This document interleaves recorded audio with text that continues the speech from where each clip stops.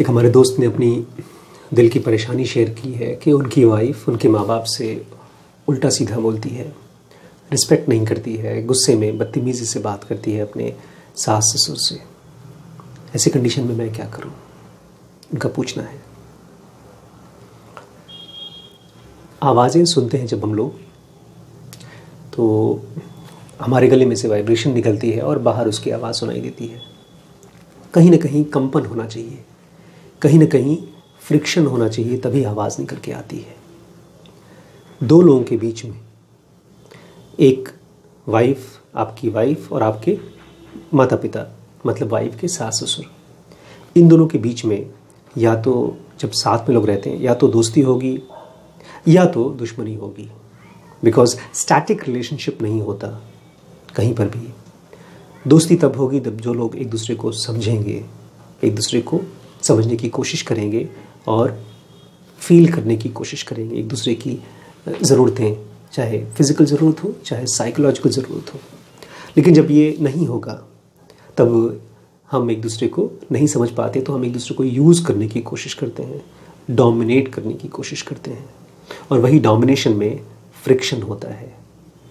कुछ लोग होते हैं जो दबा लेते हैं, अपने आप को झेल लेते हैं, लेकिन धीमे धीमे अंदर अंदर उनकी आत्मा मर जाती है।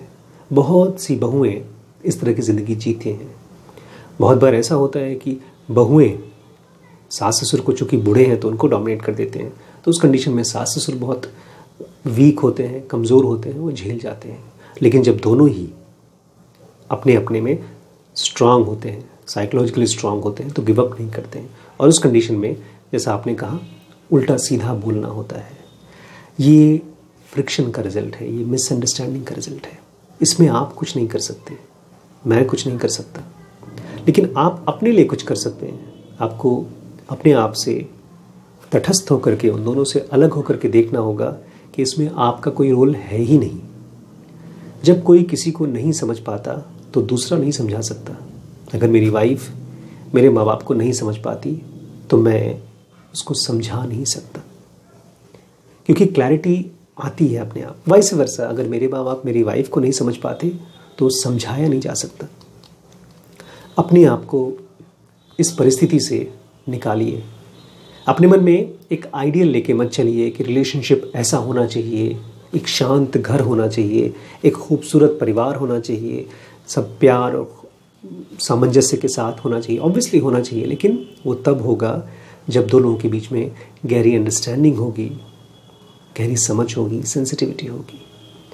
जब आदमी अप्र शब्द बोलता है, जब किसी को बदतमीज़ी से बात करता है तो वो एक्चुअली हर्ट करना चाहता है, चोट पहुंचाना चाहता है। और वो चोट पता है कौन सी चोट है? वो वही चोट है जो उसको पहले मिल चुकी है। मुझे नहीं पता था ये चीज़, जब तक मैंने इसको खुद अपनी फैमिली में, अपनी लाइफ में देखा नहीं। पहले मुझे लगता था कि ये यंग बच्चे लड़कियाँ अपनी सास को, अपने ससुर को क्यों उल्टा जवाब देती हैं? लेकिन जब मैंने ऑब्ज़र्व करना शुरू किया तो मैंने देखा कि ये केवल रिप्लाई कर रही हैं रिएक्ट कर रही हैं रिस्पॉन्ड कर रही हैं, क्योंकि उधर से भी वही रिस्पॉन्स आ रहा है। आपका एज अ हस्बैंड क्या रोल है? ये रोल है कि आप इस फ्रिक्शन में कुछ क्रिएट करने की कोशिश ना करें। एक आर्टिफिशियल समझ क्रिएट करने की कोशिश ना करें। सुने ध्यान से। अपने माँ बाप को भी ध्यान से सुने। अपनी वाइफ को भी ध्यान से सुने और उनको साफ़ साफ़ कह दें, इसमें मैं कुछ नहीं कर सकता। अगर आप एक दूसरे को नहीं समझ पा रहे हैं तो मैं कुछ कर ही नहीं सकता। हाँ मैं प्रॉमिस कर सकता हूँ कि मैं आपको कोई बदतमीज़ी से बात नहीं करूँगा। अपनी वाइफ को बोल सकते हैं कि, देखो माँ बाप मेरे जो कर रहे हैं, उसमें मैं इन्वॉल्व नहीं हूँ। मैं तुम्हें उनका एजेंट बनकर कुछ नहीं करूँगा। तुम्हें जो ठीक लगता है, मैं तुमको सपोर्ट करूँगा। अगर बहुत ही वायलेंट हो जाती है आपकी फैमिली की कंडीशन के मारपीट तक बात आ जाती है तो मैं तो आपको यही सलाह दूँगा कि आप फिर अपने घर को अलग कर दीजिए। कहीं अलग किराए का मकान लीजिए, ताकि 24 घंटे एक दूसरे को देख करके ये चोट और दर्द और मारपीट की नौबत ना आ जाए। लेकिन जहाँ तक ज़ुबानी बात है, इसमें से आप बाहर निकल जाइए। जितना आप खुद शांत हो कर के इन लोगों को ध्यान से देखेंगे, उतना ही पॉसिबिलिटी हो पाएगी कि आपकी शांति, आपकी गहराई उन लोगों को इनडायरेक्टली इफ़ेक्ट कर दे। लेकिन मैंने कहा इनडायरेक्टली ऐसा मत सोचिएगा कि आप खूब शांत हैं तो उसे कोई चमत्कार हो जाएगा और आपकी वाइफ और आपके माता पिता के बीच में खूब गहरी दोस्ती हो जाएगी। ऐसा नहीं होगा। लाइफ में जब फ्रिक्शन होता है तो बहुत पुरानी मेमोरीज होती हैं। दस साल पुरानी, साल बीस साल पुरानी, और उसमें ऐड होता रहता है। अभी कुछ दिन पहले एक एक हमारे फ्रेंड थे जो बता रहे थे, उनका बेटा उनकी बातचीत नहीं सुनता। वही कंडीशन यहाँ पर भी आती है कि बेटा अपने पिता से बदतमीज़ी से बात करता है। बोलते हैं, मैं उसके साथ दोस्ती करने की कोशिश करता हूँ, लेकिन मेरा बेटा मेरे साथ बैठना भी नहीं चाहता। क्यों नहीं बैठना चाहता? फ्रिक्शन है। बचपन में, फिर जवानी में कहीं ना कहीं कुछ ऐसी बातें हमने बोली हैं, बोलते रहते हैं, या कहते कहते रहते हैं, और अपने और तौर तरीक़ों से दिखाते रहते हैं कि वी डोंट लाइक यू जब मेरे तौर तरीके से आपको ये महसूस होगा कि आई डोंट लाइक यू तो आप मुझे क्यों प्यार भरी रिस्पॉन्स देंगे? आप उल्टा जवाब देंगे। अपने मन के वायलेंसेस को देखिए कि क्या आपके मन में गुस्सा आ रहा है आपकी वाइफ के प्रति? क्योंकि आपने अपनी वाइफ की कंप्लेन की है कि मेरी वाइफ मेरे माँ बाप को उल्टा जवाब देती है। क्या आपने अपने माँ बाप को ध्यान से सुना है कि माँ बाप कैसे शब्द यूज़ करते हैं आपकी वाइफ से? या आपको लगता होगा कि पेरेंट्स हैं तो ये तो उनका अधिकार है कि वो बच्चों को डांट सकते हैं, मार सकते हैं, क्योंकि उन्होंने हमको पाला पोसा है। अधिकार वायलेंस का किसी को भी नहीं है, हम जानवर नहीं हैं। हम एनिमल्स नहीं हैं। एनिमल्स में ऐसा होता है कि उनको भूख लगती है तो अपने बच्चों को खा जाते हैं। लेकिन हम ह्यूमंस हैं। हमारे अंदर में जो पॉसिबिलिटीज़ हैं, वो इस तरह की एनिमलिस्टिक इंस्टिंक्ट्स के बियॉन्ड हैं। तो अपने पेरेंट्स को प्राइम करिए। प्राइम मतलब उनको इनडायरेक्टली समझाने की कोशिश करिए कि देखो आज का जो ज़माना है, वो फ्रीडम का ज़माना है। और कोई भी लड़की जो बाहर के घर से आएगी, किसी और के परिवार से आएगी, वो आपसे प्यार क्यों करेगी? केवल इसलिए क्योंकि उसने शादी कर ली है आपके बेटे से। अगर आप रिस्पेक्टफुली बात नहीं करेंगे तो आपसे रिस्पेक्टफुली बात नहीं करेगी। सिंपल गिव एंड टेक है। अगर आप पड़ोसियों से बात करते हैं, आपके घर में कोई मेहमान आता है, अगर आप उसे बदतमीज़ी से बात करेंगे तो आपको बदतमीज़ी से बात करेगा तो शायद आपके द्वारा कभी घर में आया आना नहीं चाहेगा। ठीक यही चीज़ उनको भी समझना होगा कि अपनी बहू के साथ ज़बरदस्ती का सास ससुर का रिलेशनशिप बनाने के बजाय एक आर्टिफिशियल आउटसाइडर के जैसा रिलेशनशिप बनाएँ। एक मेहमान की तरह, जैसे एक मेहमान को हम अच्छे तरीके से ट्रीट करते हैं। थोड़ा मुश्किल है बिकॉज़ जिसके प्रति गुस्सा है, क्रोध है, उसको मेहमान और रिस्पेक्ट और ऐसी चीज़ें देना पॉसिबल नहीं लगता। क्योंकि अंदर में ढेर सारी एक्सपेक्टेशंस भरी हुई हैं। बहू को ये करना चाहिए, बहू को ऐसे सेवा करनी चाहिए, बहू के तो ये सारे काम है। लिस्ट है, पता है सास ससुर के पास कि बहू को कैसे कैसे कैसे बिहेव करना चाहिए। जब आपके पास लिस्ट है तो उधर बहू के पास भी लिस्ट है कि हमारे सास ससुर को कैसे कैसे कैसे बिहेव करना चाहिए। उसने भी आसपास से लिया होगा। आपने भी लिस्ट पुराने ज़माने से ले रखी है। तो ये जो एक्सपेक्टेड रियलिटी और पीछे रोल्स ये चार लोगों को आप ज़बरदस्ती जोड़ने की कोशिश कर रहे हैं। एक तो रियलिटी है कि ये दोनों एक दूसरे को पसंद नहीं करते, और एक एक्सपेक्टेशन है कि ये दोनों एक दूसरे को पसंद करना चाहिए, ये काम करना चाहिए। तो एक्सपेक्टेशंस को हटाइए। उनको बोलिए, माता जी पिताजी रियलिटी ये है कि ये आपको पसंद नहीं करती। वाइफ को बोलिए कि रियलिटी ये है कि ये तुम्हें पसंद नहीं करते। अब साथ में रहना है। तो क्या हम एक नई शुरुआत कर सकते हैं जहाँ पर हम कम से कम नॉर्मल तरीके से बात करना शुरू करें? इसको ज़बरदस्ती नहीं क्रिएट कर सकते आप। केवल प्राइमिंग कर सकते हैं कि people all people are strangers आपने देखा है कभी बस में चले जाइए, आपके जेब से रुमाल गिर जाए या कोई सामान गिर जाए तो सामने वाला अगर उठा के दे देता है, जो आपसे अननोन है तो आप उसको थैंक यू बोलते हैं।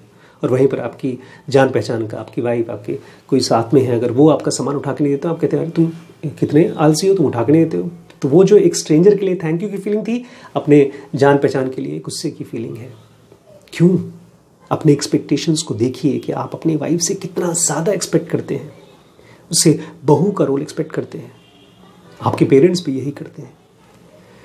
मैं आपकी वाइफ की तरफदारी नहीं कर रहा हूँ।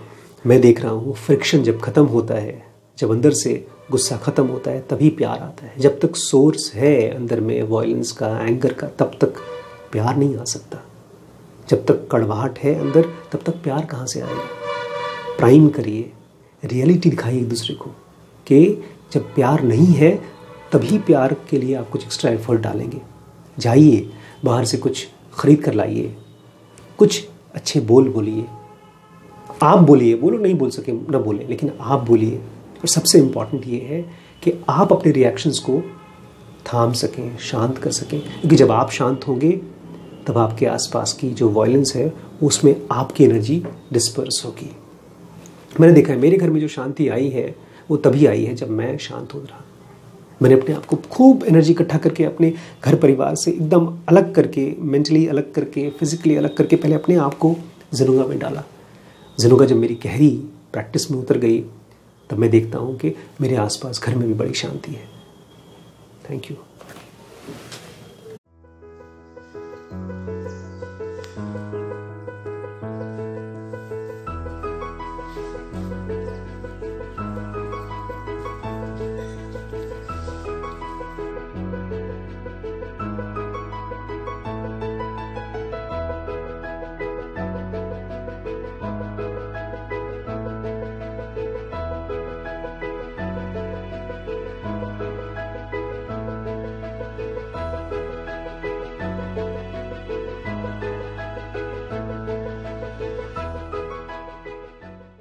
W B X join नहीं किया है तो बहुत जल्दी ज्वाइन कर लीजिए बिकॉज़ उसमें हम लोग इंडियन स्टार्टअप्स के लिए बहुत ही ढेर सारी और बहुत ही रेलिवेंट वीडियोस लेकर आने वाले हैं कि किस तरह से बहुत ढेर सारी फंडिंग मिलती है कंपनीज़ को और किस तरह से इंडियन कंपनीज़ की मार्केट ग्रो हुई और फ्यूचर क्या है इंडियन कंपनीज़ का।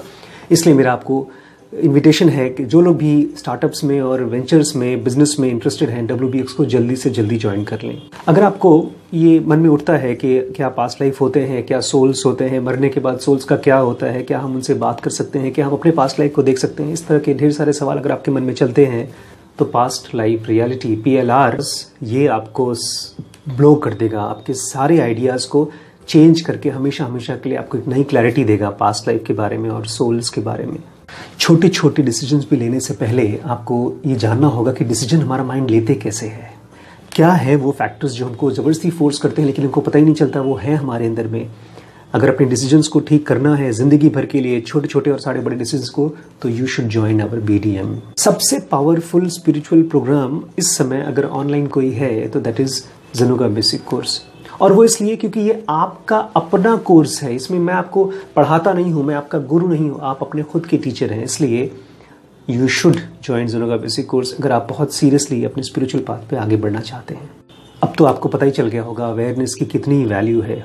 अगर नहीं पता चला है तो नाउ जो कोर्स है हमारा, वो ज्वाइन करके आप सारी की सारी चीज़ें जान सकते हैं। अवेयरनेस के ब्रह्मचर्य और पेरेंटिंग के ऊपर। अगर आपको गहराई से कुछ सीखना है तो you should join S P M T